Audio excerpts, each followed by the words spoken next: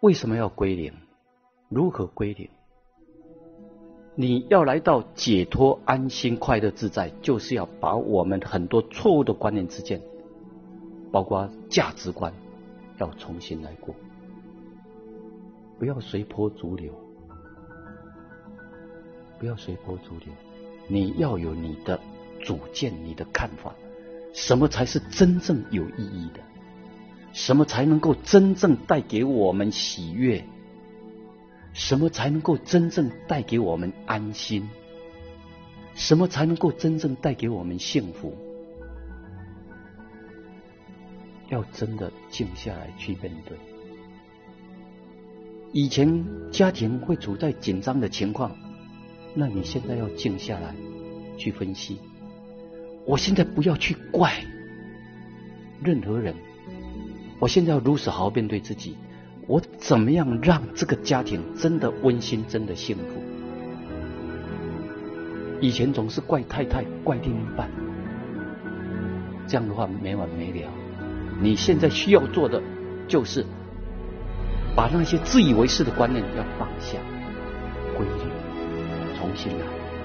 我怎么样才能够让这个家庭真的幸福快乐？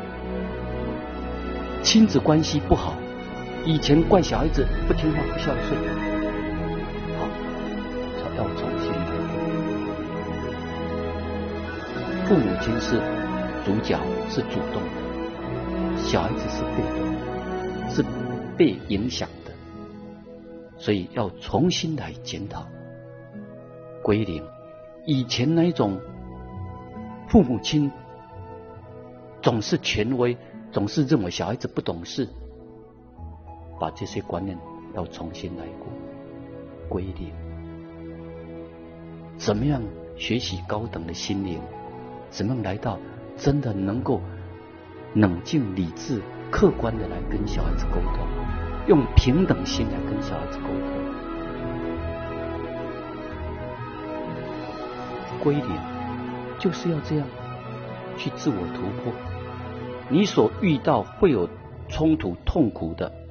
我们以前都是怪外境，现在要把这种习性把它扭转过来，不要再怪外境，回来，回来检讨我们自己，我们有哪些方面可以去突破的，可以去改进的。你是你世界的主人，你要怎么样去对待，去改善我们的世界？就在你能不能真的转变心态、转变心念。